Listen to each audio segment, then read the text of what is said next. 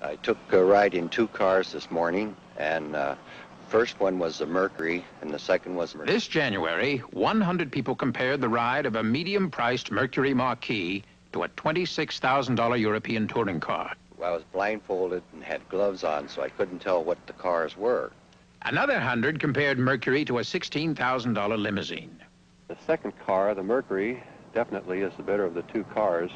I noticed the ride and the quietness especially. The official results from the Nationwide Consumer Testing Institute shows the vast majority rated Mercury's ride superior. It's a much better ride. It's a quieter ride, smoother. The Mercury. It glides. You go around corners. It's it's a nice, firm feeling. I think it opens up everyone's eyes. It really does. Sometimes a blindfold can open your eyes. Better ideas make better cars. At the sign of the cat.